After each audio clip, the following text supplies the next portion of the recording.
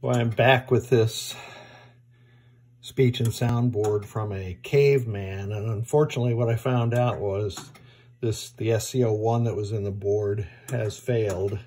So I've replaced it with one of the SC01s that I have in my supply. And I want to go through all the tests again so you can hear the voices. So bear with me.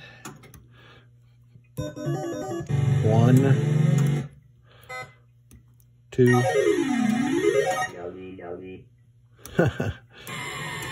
three, four, five,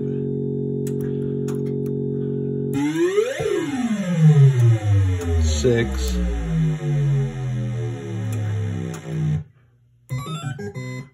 seven,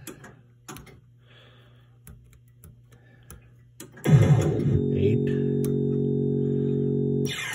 nine, ten, eleven, twelve, thirteen, fourteen, fifteen.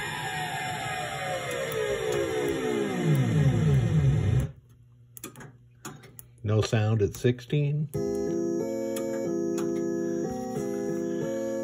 That sounds very haunted house-ish. Extra ball very good to me. Something about extra ball. Let's see. All right.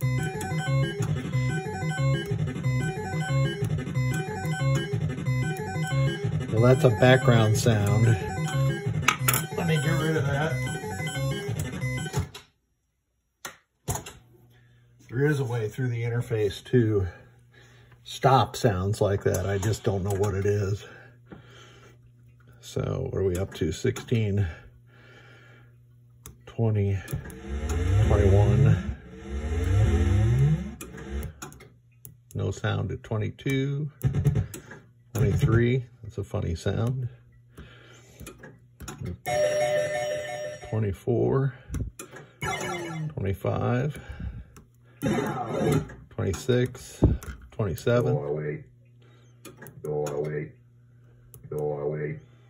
Not sure what it's saying. Don't eat me. Don't eat me. Danger. Danger. Get extra ball. Get the extra ball. Caveman wake up. Caveman wake up. So those are all the sounds that Caveman makes.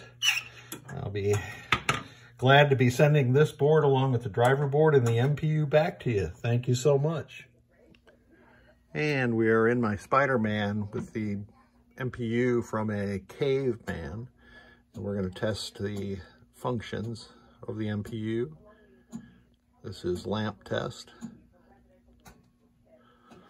So it's pulsing the two relays and then the coin lockout.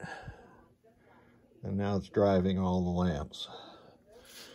And the next test is coil test.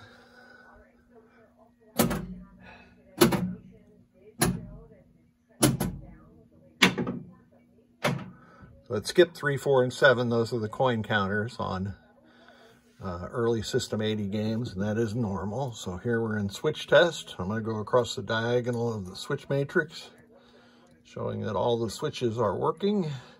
I'm not going to do 77 because that one does something funny. I mean, it's got a function. This is display test. Let me Back off that a little.